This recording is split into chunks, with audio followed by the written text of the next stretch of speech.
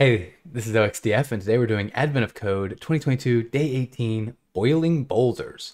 Um, skipping kind of through the story bit here, we're going to get a list of three-dimensional coordinates, and these there's going to be cubes centered on these points. And basically, they want us to count the surface area of all the cubes, but if two cubes are next to each other, we don't get the, you know, they, they block each other out. So in the example where there's literally two cubes, uh, each cube has six sides, that would be 12, but two of the sides, one on each, are touching each other, so those don't count, so we're down to 10.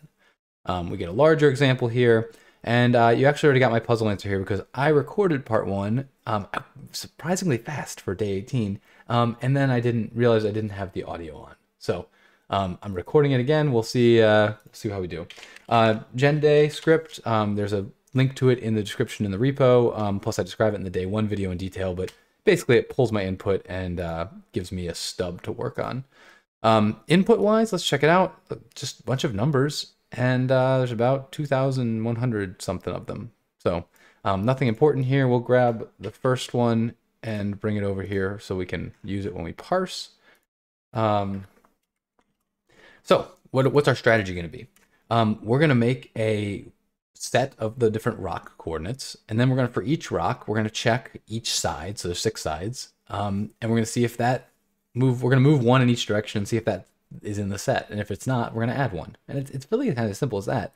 Um, so first we got to start with by parsing. So we'll do for line in lines. Um, we'll do line dot split on the comma. Um, let's go ahead and pull this up here. Oops. Okay, and then we're going to get, that'll give us a list, a three long list. So we are going to map onto that list the int function. And then we need to turn that result into a list. And then we can save that. We can get parts that as x, y, z equals. And there we go. Um, then we need rocks. So we'll come up here. Um, I don't want to type boulders a lot, so I'm just going to be lazy and type rocks equals set. Um, and we can say rocks dot add X, Y, Z, like that. And uh, I think we've got rocks. Um, now, we need to, part one, we're going to set that equal to zero. And now we can do a for X, Y, Z in rocks. We're going to, for each rock, what are we going to do? Well, we want to say, we want to look at each side. And so we're going to say for uh, dx, dy, dz in, and I don't know a better way than just type all this out. So we'll do uh, 1, 0, 0, uh, negative 1, 0, 0, 0, 1, 0, 0, negative 1, 0, and then 0, 0, 1, finally 0, 0, negative 1. So for each of those deltas, we're going to say uh, if x plus dx y plus dy, z plus dz, in uh, not in rocks, part one, part one plus equals one. That, and uh, I think it's as simple as that actually. Let's, let's give it a run here. Python day there input um, 34, 32. Um, way too fast for a day 18, but uh, all right. So part two, it's a little more complicated, right? They're now saying to us, we want to count the surface area that's exposed to the outside. So, you know, obviously that means that the, the, the immediate side has to be clear, but we have to also be able to trace a path from there out. Um, and so here we're going to, we're going to set it up so that we basically, um, let's see, we'll come here and we'll say part two equals zero, because we're going to do the same thing here. And we can, we're just going to do the same loop with a different check. So we'll say if, uh, we're going to make a function. So here, we'll come, we'll come up here and we'll say uh, def can get out x, y, z pass for now. Then we come down here and we can say if can get out. Uh, let's grab these right here because I'm too lazy to type. That part two plus equals one. All right, so now we're, we're done except for we have to uh, actually write can't get out. Um, I really would love to do this with recursion, but I don't think that's actually the answer because I think it's going to get too long. Um, so let's see. Um, we will do from collections import deque, not default deck, deque. And so we're going to do this with a breadth first search. We will say uh, q equals deque. We'll say q dot app append, and we'll x, y, z, like that. And then we're also going to want to track where we've been because otherwise, if we're just, we could step left, right, left, right, left, right, and we just keep going forever. So we want to say like um, seen equals set. So now we can do a while q. And so let's think about our base cases, right?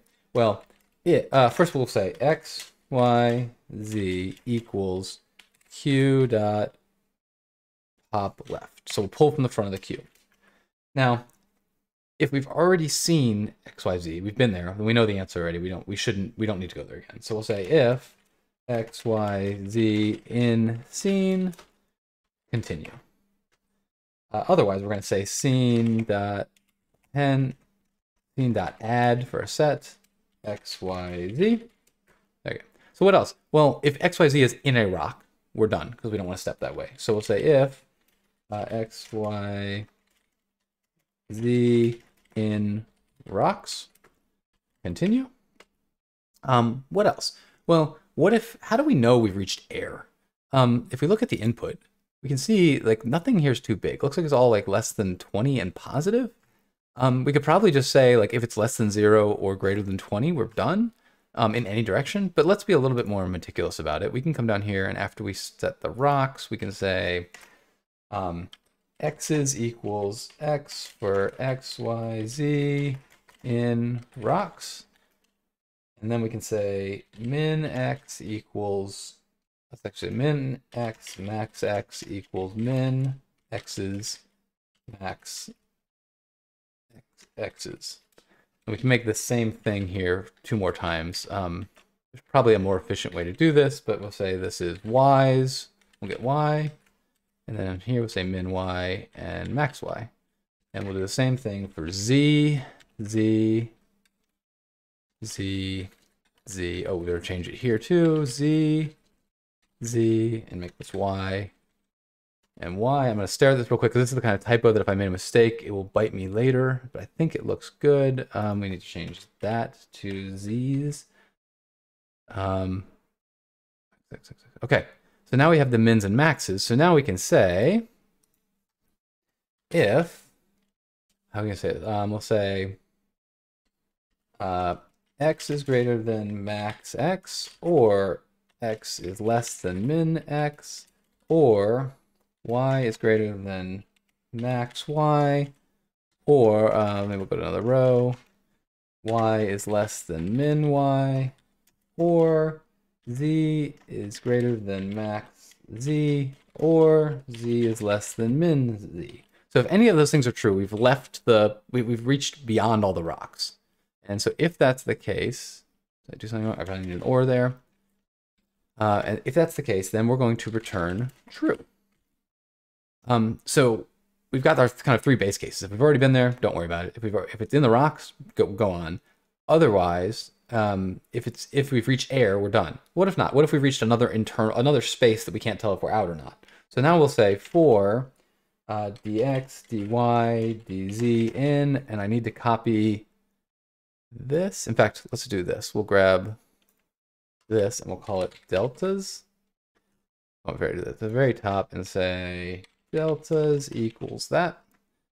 Now we've got this, now we can just use this again in deltas and we'll say uh, q dot append uh, x plus dx, y plus dy, z plus dz. So we, we do that. And now if we reach the end of our queue, we've ran we've run all our spots and we don't make it out, we return false because we've clearly not made it to air.